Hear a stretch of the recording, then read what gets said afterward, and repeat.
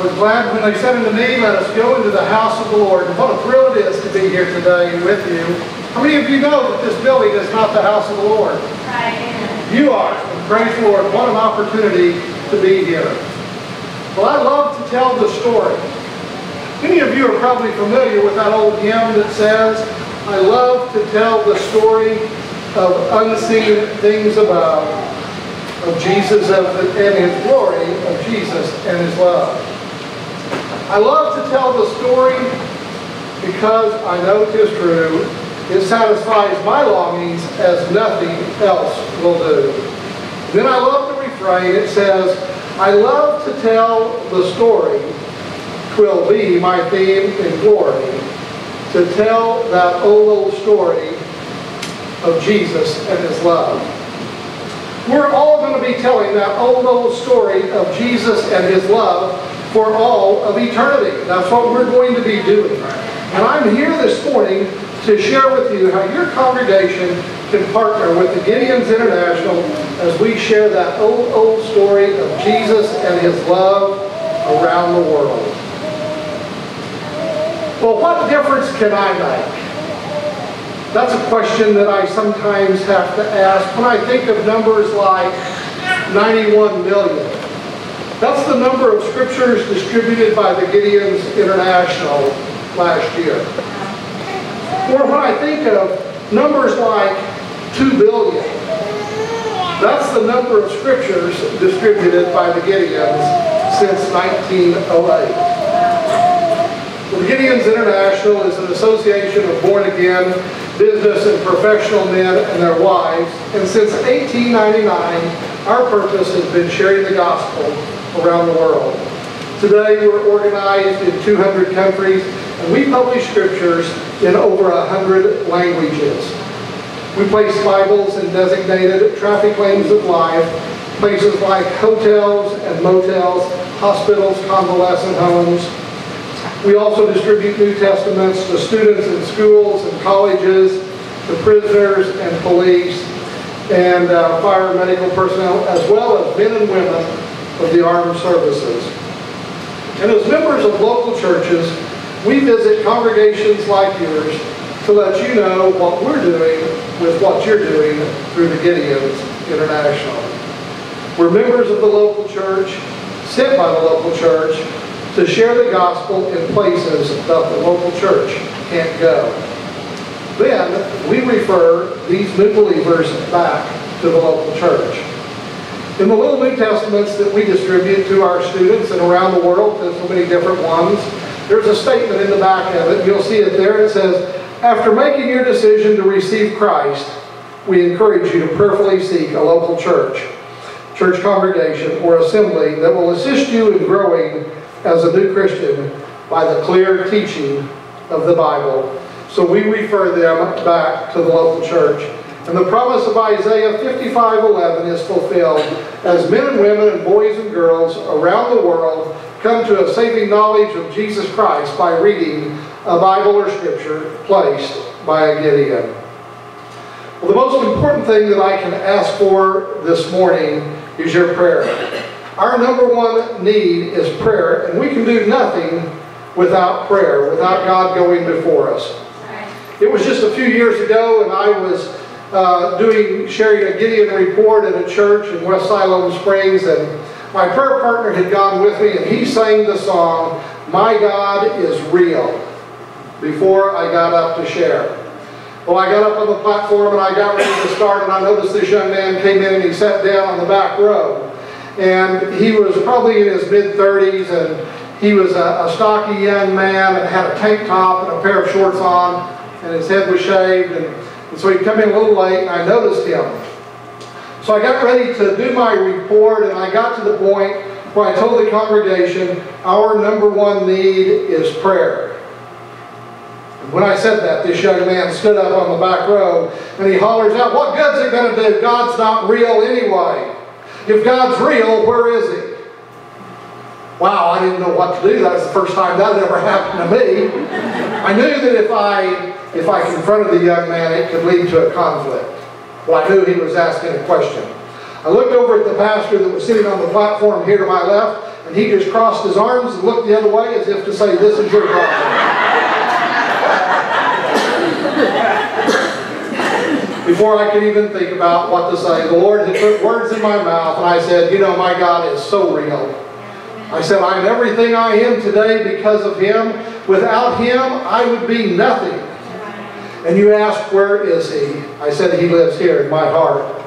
I said, but His presence fills this entire room. And He desires to live in the heart of every person in this room. The young man sat down and I was relieved. I finished my report and I was standing down here at the front and the pastor got up to offer an invitation at the end of the service. And I'm standing there asking myself, what could I have said or what could I have done that would have convinced this young man that my God is real? And immediately, I came under conviction and the Lord says, there's not anything you can say, there's not anything you can do to convince him that I am real. It's I that draws him to my son. You just need to pray. And I began to pray. And as I began to pray, this young man stood up at the back row, walked down to the front with tears in his eyes, knelt at the altar, and gave his life to Jesus Christ. It's prayer that makes the difference. I'm also here this morning to ask you to give to the kingdom of God through the Gideon's International. Even though we're distributing and placing more than two scriptures every second, every time your heart beats, the need is even greater and we need your help. And so if God has placed it on your heart this morning, I would ask you to consider a financial gift. Every scripture we distribute and every salvation testimony is the result of the generosity of somebody just like you. You should have had one of these little uh, pamphlets on your seat when you came in today. There is uh, more information about the Gideons in it. There's also a credit card slip in there if you want to use it. And so we encourage you to use these. New Testaments cost just an average of just a dollar and 25 cents. And so $125 will buy a case of scriptures of New Testaments and place them anywhere in the world. Gideon Hotel Bibles cost just $5. And over the course of its life of about six years in a hotel room, it has the potential to reach approximately 2,300 people. You can also help purchase scriptures throughout the year by using the Gideon cards. You have a display in your lobby back here. And each time you use one of these cards, Bibles are placed in memory of somebody. And so that's another way to support the Gideons. Well, a few minutes ago, I asked a question, what difference can I make? Well, let's watch the video and see what difference one New Testament supplied by someone just like you and your congregation is making. I got involved in drugs while I was in dental school, thinking that I could do both, be a graduate student by day and doing drugs and partying.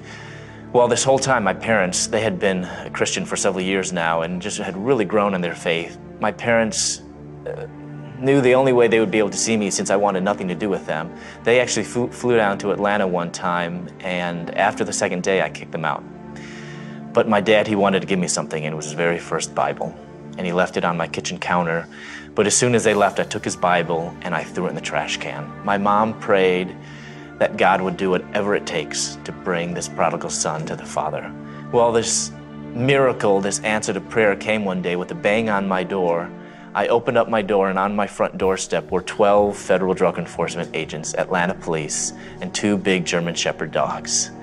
I just received a large shipment of drugs and they confiscated all my money and my drugs, and I was charged with a street value equivalent of 9.1 tons of marijuana. I was walking around the cell block and I passed by this garbage can, and as I looked at that garbage can, I felt like I was looking at my own life. And I was about to pass by that garbage can, but something on top of the trash caught my eye.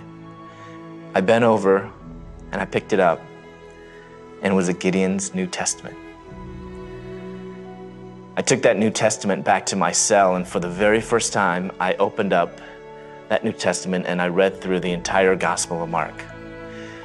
And as I know today, what we have in our Bibles is not just ink on paper, but what we have in our Bibles is the very breath of God. And it's living and powerful and sharper than any double edged sword. And as I began to read God's Word, it began to penetrate me and it began to cut through my stubborn, hard heart. He revealed His plan for my life and He called me full time ministry while I was in prison.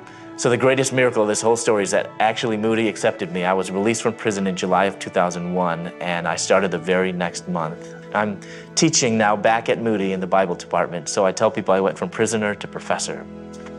Only God can do that.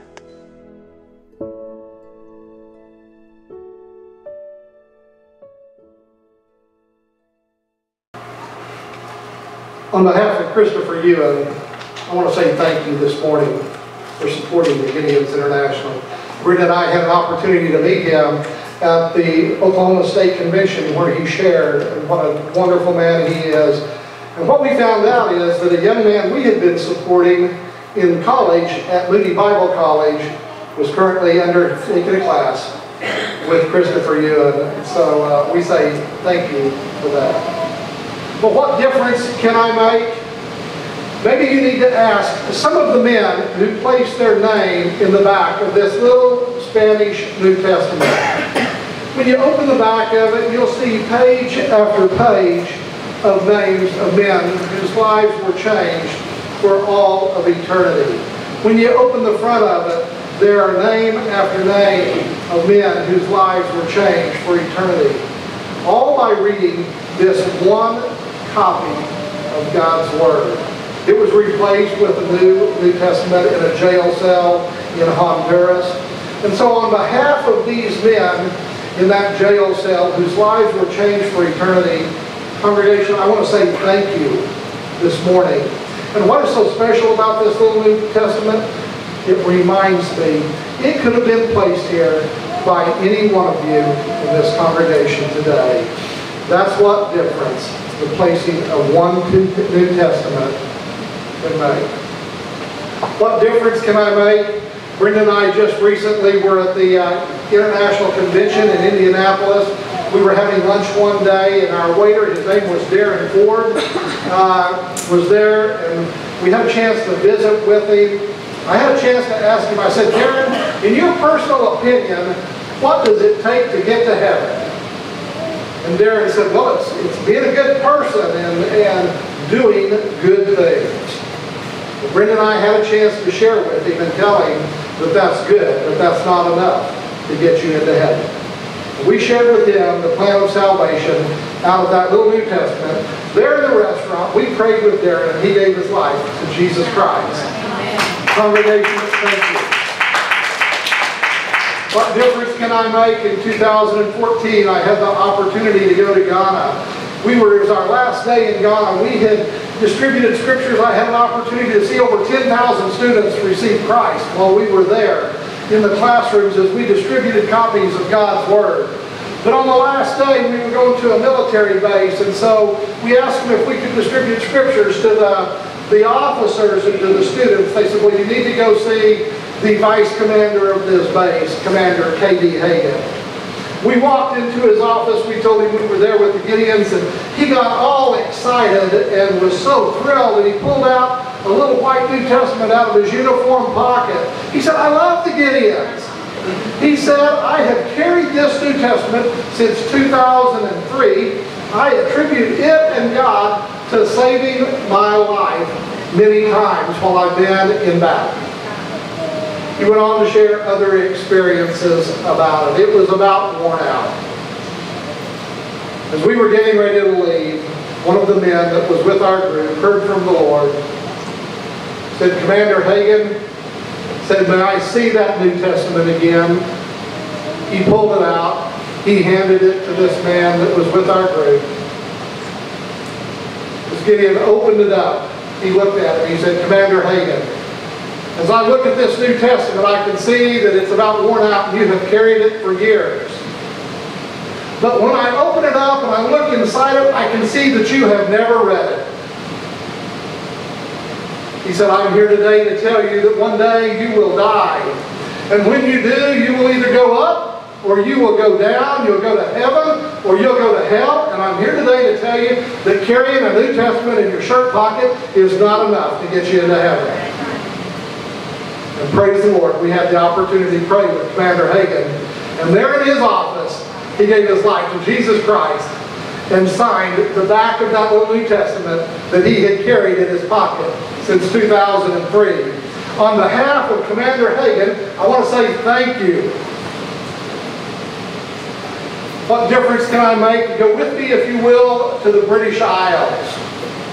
There was a young businessman and he checked into a hotel and uh, there was a Bible laying on the nightstand, a Bible very similar to the one that I have in my hand. And in the back of these Bibles there are some blank pages. So this young man picked up this Bible, he starts looking at it, he thumbs through it, he sees that there is writing on the pages in the back of that Bible. And he proceeds to read it. And as he reads, he reads about a man that had checked into this same hotel room, this same Bible, and had written in the back of it that he checked in that hotel because his life was falling apart, and he checked in with the intent of taking his own life in that hotel room that night.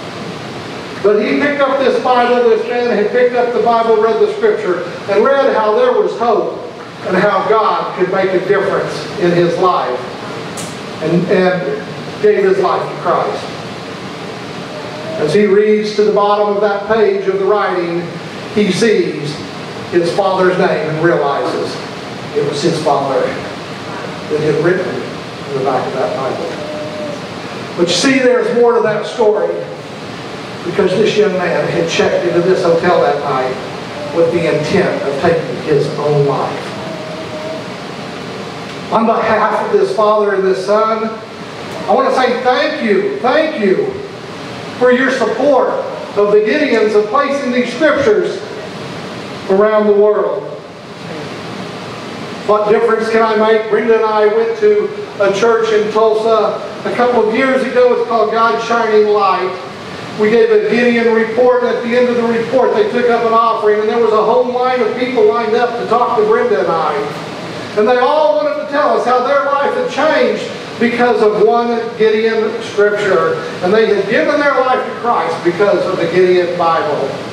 And I'll never forget the young lady that came up to Brenda and said, I just want to say thank you and I want to share with you, my husband and I, we used to go to the hotel and we would get high on the weekends. That was our entertainment. But one weekend we went we checked into a hotel and praise the Lord, there was a Gideon Bible on the nightstand there. And that weekend we didn't get high, we got saved. We want to say thank you on behalf of this young couple. I want to say thank you. What difference can I make? Watch this video as we listen to Craig Groeschel, please.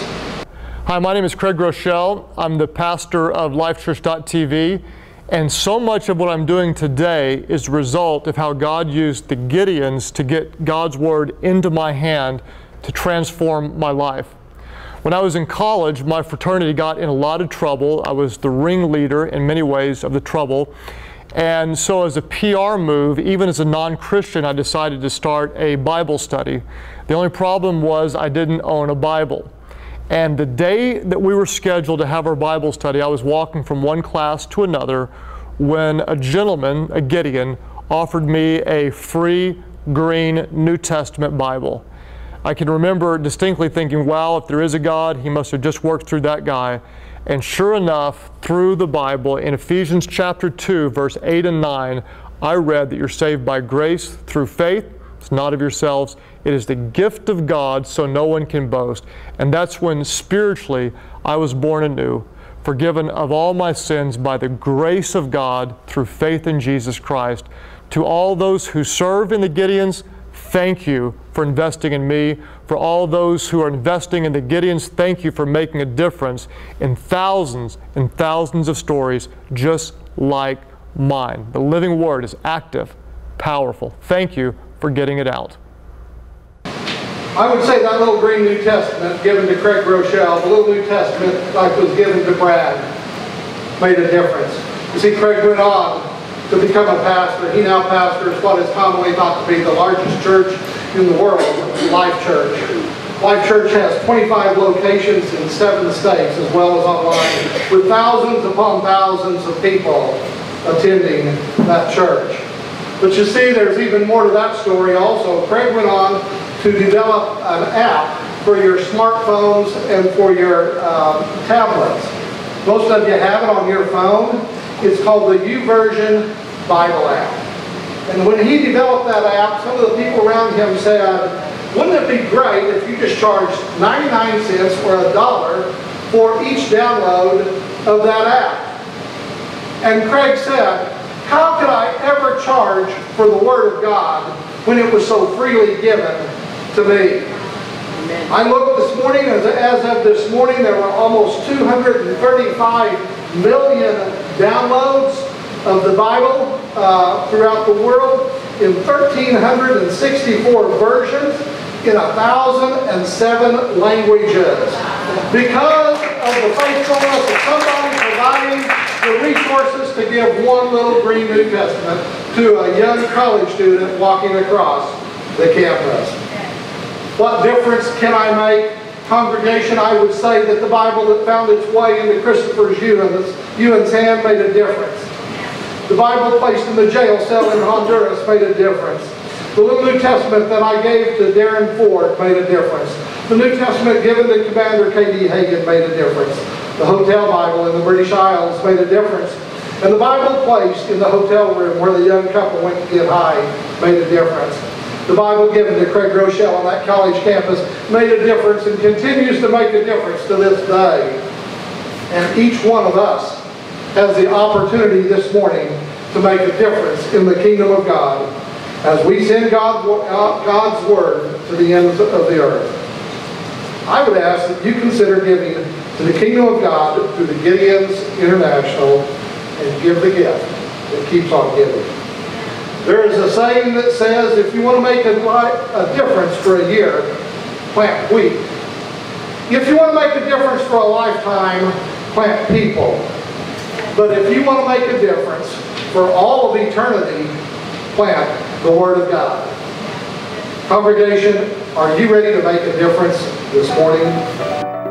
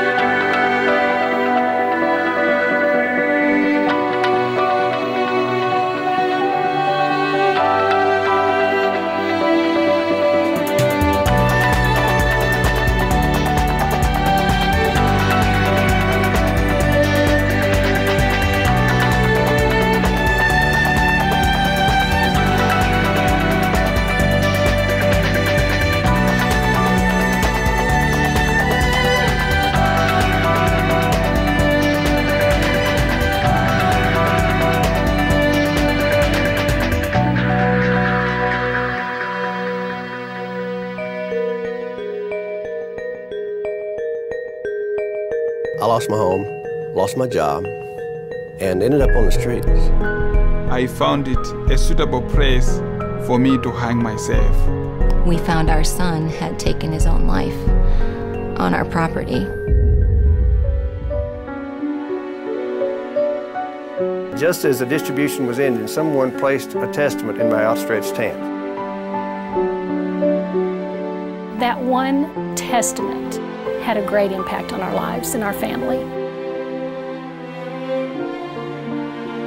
This is an opportunity for me to have a New Testament. As I began to read the book of Revelations, I could see how much God loved me. It was like for the first time in my life that, that I really felt acceptance. I'm fixing up this drug, and I see the Gideon's Bible over there. But there was, there was a force compelling me to pick this up. You know, he says he'd take away all the weights and burdens that you have. They were gone. It has given me hope for daily living in the worst circumstances of my life.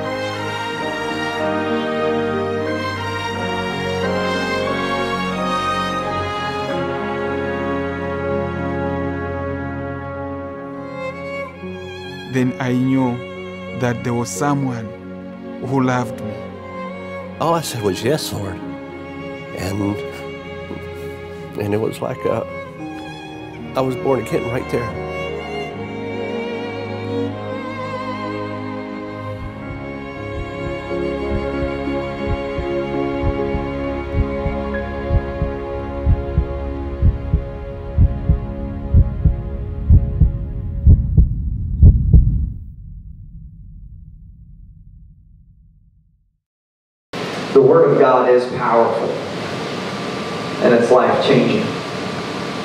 Each and every day, we have an opportunity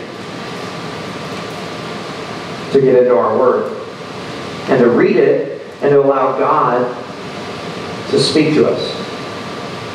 It's His breath. It's it is the heart of God speaking to you and speaking to me each and every single day of our lives. God's Word is powerful. God's Word is life-changing. Want to encourage you guys. We've just come out of this series, Worship Junkies.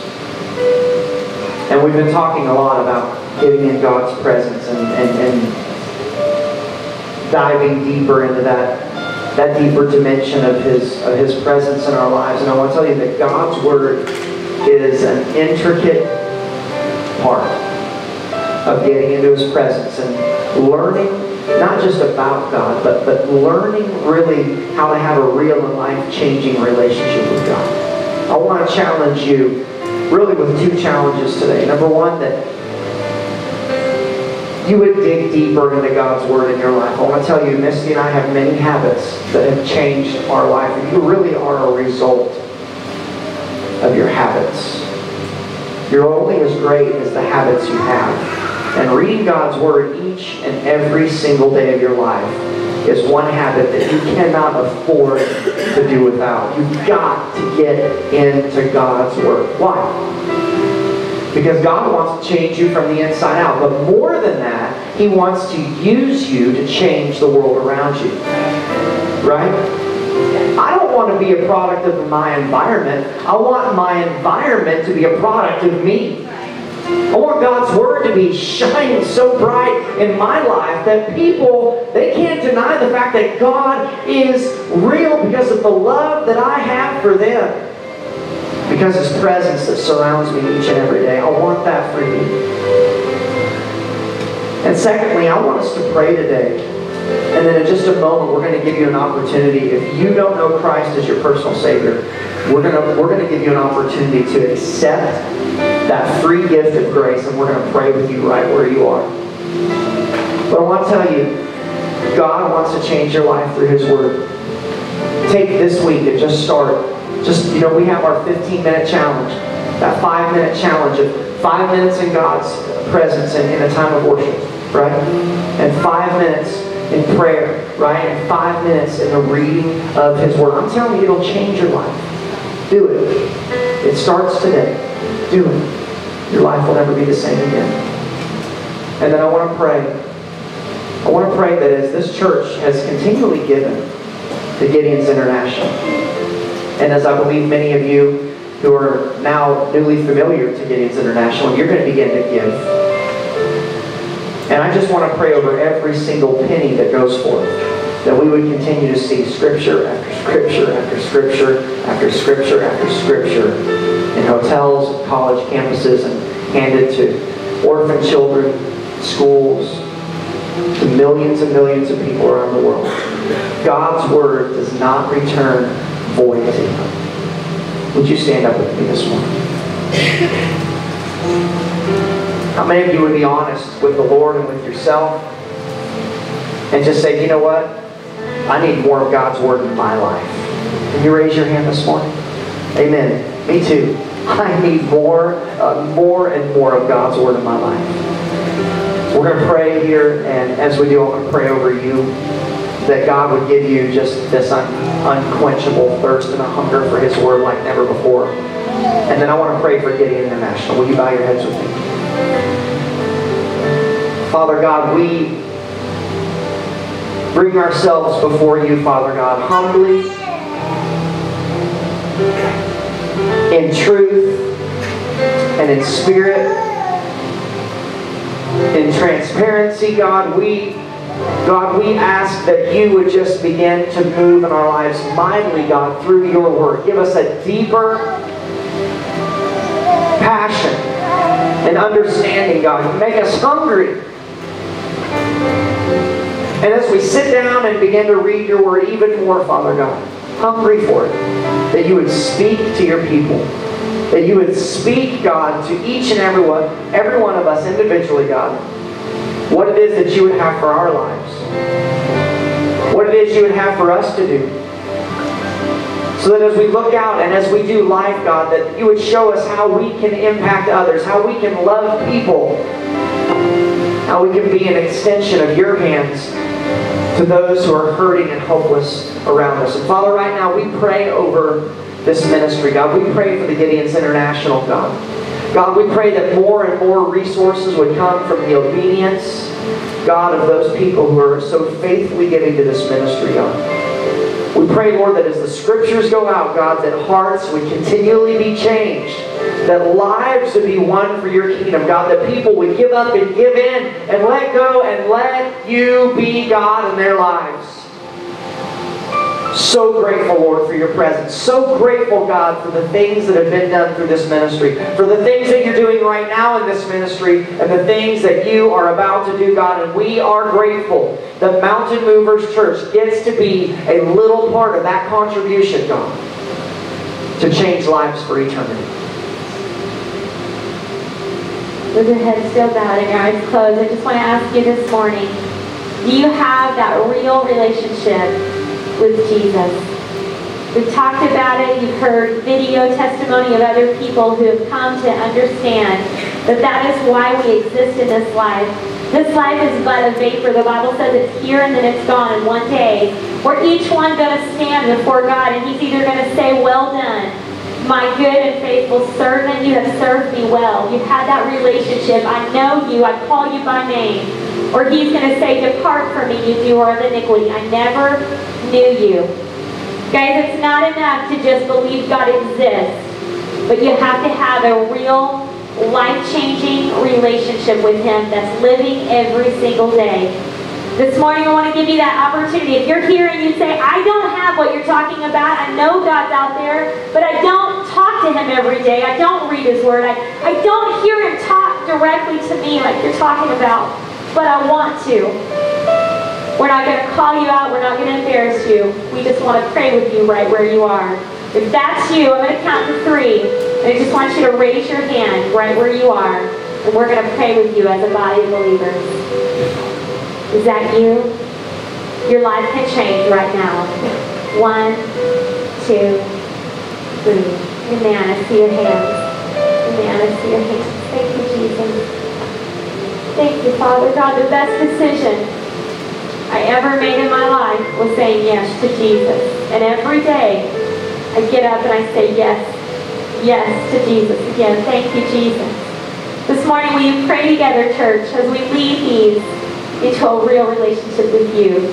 Say, Heavenly Father, Heavenly Father, I believe I believe with all of my heart with all of my heart that Jesus Christ gave his life for me. that Jesus Christ gave his life for me. I ask this morning I ask this morning, that Jesus would come into my heart, Jesus, you would come into my heart, forgive me of my sins, forgive me of my sins, and give me a brand new start. give me a brand new start. I want a real I want a real and and life-changing life-changing relationship with relationship with you. you. In Jesus' name. In Jesus' name. Amen. Amen. Will you give him a hand this morning? Hey, thanks so much for joining us today. If you want to be a part of something bigger than yourself, give to our ministry. We've made giving easy here at Mountain Movers Church. If you have your smartphone, just text the number 918 223 8090. Just push in the amount you want to give and push send. It's that easy. If you don't have your smartphone, not a problem. You can mail your giving just as easy to 24000 South 660 Road, Grove, Oklahoma 74344. Thanks for watching today. Hey, remember, we're dreaming big for you. We'll see you next week.